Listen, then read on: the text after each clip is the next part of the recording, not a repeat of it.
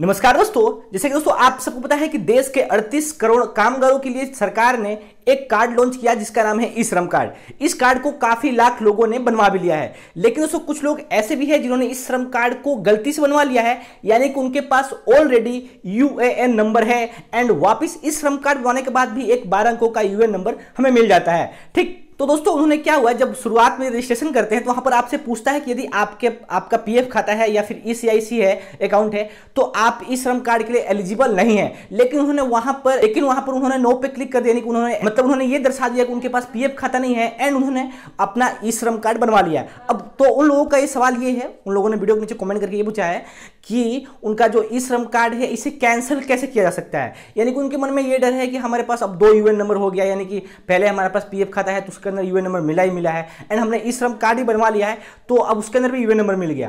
तो यदि आपके पास भी इस प्रकार का कंफ्यूजन है कि ई श्रम कार्ड कैसे कैंसिल होता है तो आपको इस वीडियो के अंदर आपके कंफ्यूजन को सारा कुछ दूर करने वाला हूँ। यदि आपको भी जानना है तो हम वीडियो के साथ शुरू से लेकर अंत तक बन रहेगा। तो दोस्तों, मैं उस प्रकाश चौबे और आप देख रहे हैं चैनल चौबी टेक्निकल दोस्तों आज की जो कमाल की वीडियो है, शुरू करते हैं। तो जैसे दोस्तों, आप सबको मैंने बताया कि इस श्रम कार्ड कैसे कैंसिल करें, ऐसे काफ़ी लोगों का सवाल है। क्योंकि उनके पास ऑलरेडी यूएन नंबर था, या फिर हो सकता है उनके पास पीएफ खाता नहीं हो, फिर भी उन्होंने ई श्रम कार्ड बनवा लिया है। लेकिन अब वो चाहते हैं इसे कैंसिल करना।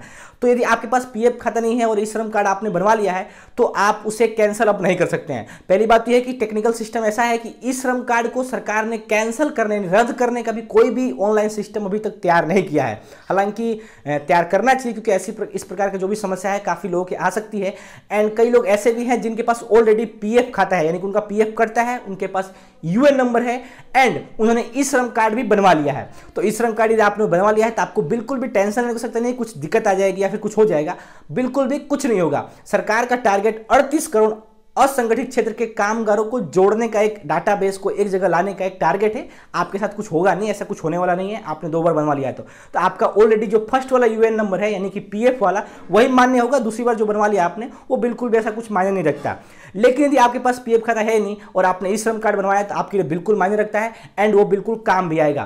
ठीक है? दोस्तों, यदि आपके मन में ये है कि आप ई श्रम कार्ड को कैसे कैंसिल कर सकते हैं, रद्द कर सकते हैं तो इस प्रकार का भी कोई भी सुविधा सरकार की तरफ़ से नहीं दी गई है एंड आपको बिल्कुल भी मतलब परेशान होने को सकता नहीं है कि कैसे क्या होगा, मेरे मतलब कैंसिल नहीं हो रहा है तो आपको टेंशन नहीं हो सकती नहीं कुछ भी आपको दिक्कत नहीं आने वाली है, जब आपने ये गलती कर भी दी है तो। ठीक? तो दोस्तों, आपको ये जानकारी देनी थी तो दोस्तों, आपको जानकारी और वीडियो कैसे लगी? आपको जानकारी अच्छी लगी हो तो कृपया करके वीडियो को लाइक कर दीजिएगा और साथ साथ में दूसरे दोस्तों के साथ भी शेयर कीजिएगा, ताकि उनको इस बात की नॉलेज हो सके। और दोस्तों, आपको इस वीडियो से संबंधित कोई भी क्वेश्चन या फिर कोई क्वेरी हो तो नीचे कमेंट बॉक्स में कमेंट करके अपने सुझाव को रख सकते हैं। या फिर आप हमसे डायरेक्ट इंस्टाग्राम पर भी संपर्क कर सकते हैं। नीचे लिंक आपको डिस्क्रिप्शन में मिल जाएगी।